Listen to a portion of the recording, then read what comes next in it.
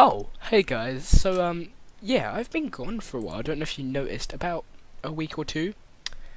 And um, let me just start off by saying I'm not gonna make any excuses, but I've just been literally up to my knees in homework, um, just life in general.